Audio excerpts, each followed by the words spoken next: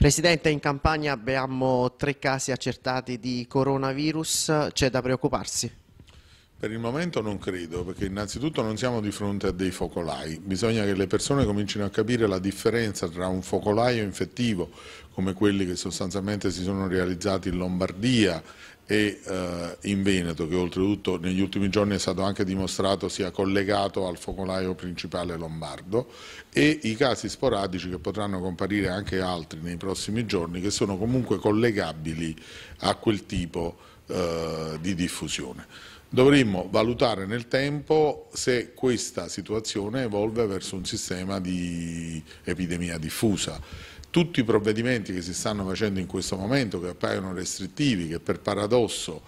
realizzati per eccesso di prudenza, ma soprattutto per evitare proprio questa evoluzione, non possono essere poi quei provvedimenti a spaventare le persone. Quei provvedimenti dovrebbero servire per far sentire le persone più tranquille. Ogni singolo caso abbiamo avuto un incontro col Presidente De Luca, è stato analizzato su tutti i contatti, i contatti sono stati verificati, fortunatamente uno dei tre casi non ha avuto praticamente contatto con nessuno, Uh, e quindi sostanzialmente si chiede in questa fase soprattutto alle persone di comportarsi attraverso un sistema civile e eh, di senso di responsabilità verso la collettività. Se ci si reca in questi posti o si proviene da posti che possono essere considerati a rischio, in questo momento c'è un'ordinanza sia del, eh, a livello della Presidenza del Consiglio, ma ripresa praticamente da tutti i governatori delle regioni, è stata messa anche quella della Regione Campania, in cui un soggetto di questo tipo deve, e sottolineo deve, ricordo che l'ordinanza può avere effetto sanzionatorio di tipo penale se non fosse rispettata, eh, contattare il proprio medico di famiglia per segnalare nel dubbio e avere chiarimenti se il contatto che ha avuto con una persona o piuttosto con una località eh, nell'ambito della sua mobilità sia di fatto a rischio. Il medico, se ritiene questa cosa a rischio, attiverà un medico di sanità pubblica che poi contatterà il paziente per valutare tutte le successive azioni da fare dopo che il medico avrà anche consigliato le azioni opportune per la tutela del nucleo familiare se questa persona ha dei conviventi. Presidente, diamo un ulteriore messaggio rispetto a quanto già detto lei. Se qualcuno pensa di essere infetto non deve recarsi di sua spontanea volontà all'ospedale. Innanzitutto mi permetta di ringraziare i cittadini perché eh, questo messaggio ormai lo stiamo dando diciamo, da quando è partita la psicosi. Eh, direi, ma eh, possiamo testimoniare, io per primo sono un medico di famiglia, che i nostri ambulatori sono sicuramente meno gravati eh, dalla pressione dei pazienti. I pazienti stanno capendo che prima di venire in ambulatorio, prima di avere contatto con un medico, sia esso un medico di famiglia che è il primo contatto, il medico di guardia medica, ora praticamente ci aspettano dei weekend dove il medico di famiglia non c'è, ma la, i colleghi di continuità assistenziale vanno trattati alla stessa maniera. Prima di recarsi presso il presidio, vi prego, chiamateli, fategli capire qual è la vostra condizione, verificate la possibilità con loro di accessi che siano protetti per voi e per gli altri. Questo significa riuscire a regolare la diffusione dell'infezione. Questa infezione non ha problemi legati alla gravità di impatto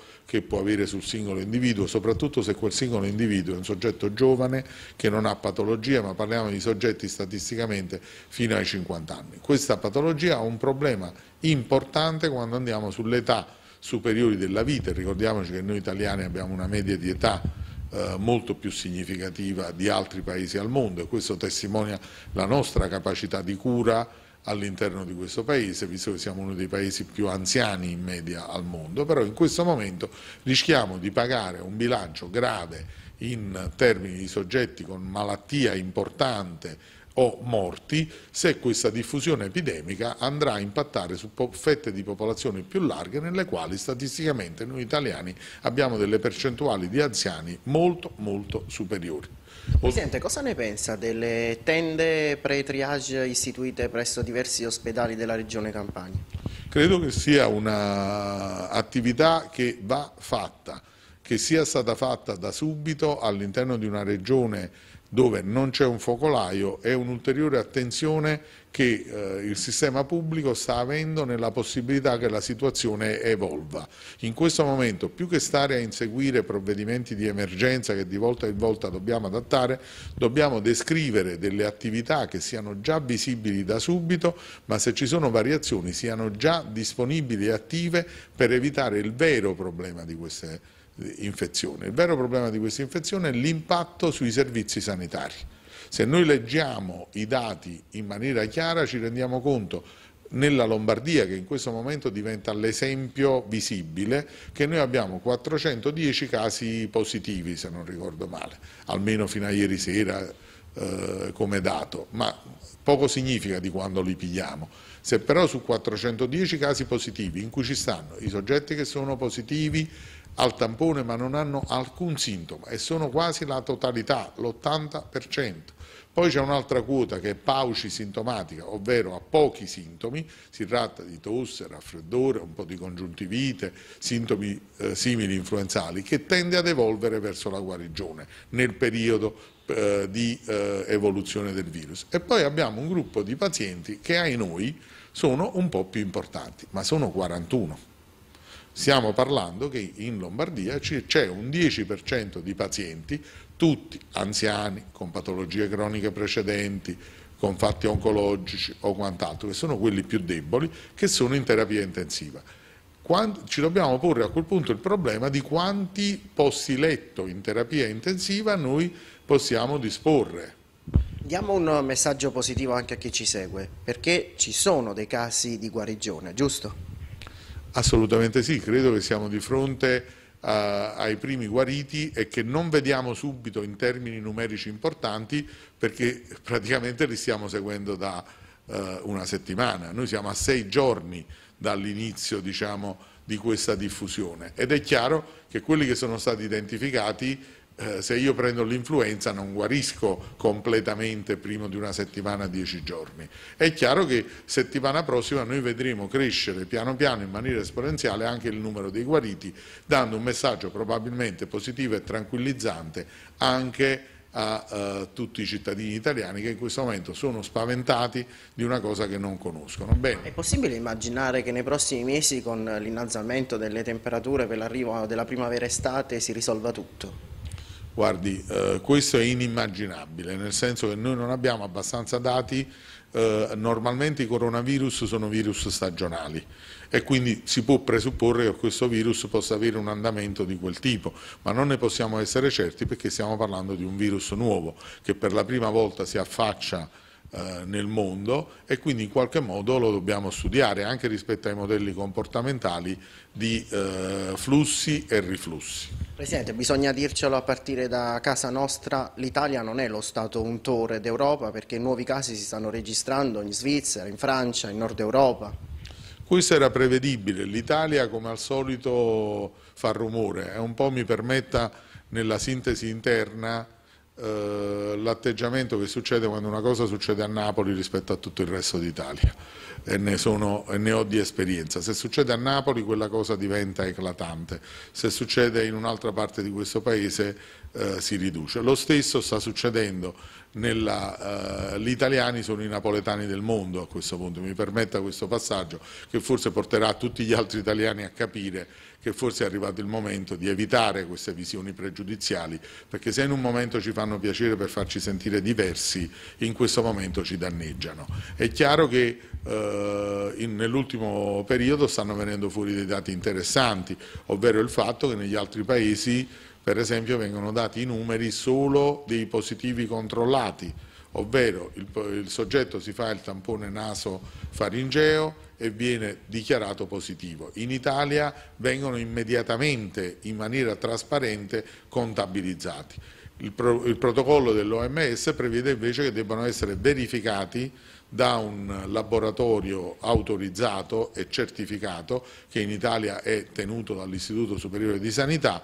e questo vale per tutti i paesi. Mentre noi stiamo li stiamo dichiarando tutti, gli altri paesi stanno dichiarando solo quelli controllati e verificati. Dall'altro lato va detto che fino ad oggi i positivi che sono stati determinati a livello periferico nella stragrandissima maggioranza sono stati confermati successivamente. Non può essere l'azione di trasparenza e di legittimità e di intervento immediato del Paese Italia la colpa del Paese Italia. Secondo me è molto più colpevole un Paese che per non far apparire le cose alla fine le minimizza e sostanzialmente non fa comprendere ai propri cittadini che con pochi comportamenti si può evitare il dramma. Presidente, il dialogo dell'Ordine dei Medici è aperto chiaramente con la Regione, ma lei è stato anche al Ministero della Sanità. Beh, io per una coincidenza di ruoli eh, in rappresentanza anche della medicina di famiglia che è in prima linea, ringrazio tutti i colleghi che stanno facendo il loro dovere rispondendo a telefono ai colleghi, ai pazienti, tranquillizzandoli e dandogli informazioni, oltre al fatto che sto cercando di farlo anch'io attraverso i media e ringrazio anche l'emittente per permettermelo, perché è il modo di arrivare più rapidamente e a sostegno anche di quei colleghi in modo che ricevano meno telefonate, mi permetta questa speculazione, può apparire spiccio briciola, ma il lavoro che i media stanno facendo in questo momento, se è un lavoro di informazione e non di speculazione sulle paure, credo che abbia anche quello un suo valore. Uh, il dato principale, io per questo mio ruolo sono stato già più volte al Ministero, l'ultima è stata martedì scorso, uh, nel quale praticamente abbiamo affrontato alcuni temi che appaiono banali come quello della certificazione di malattia per i pazienti come quello della ripetizione delle ricette, eh, se noi diciamo da un lato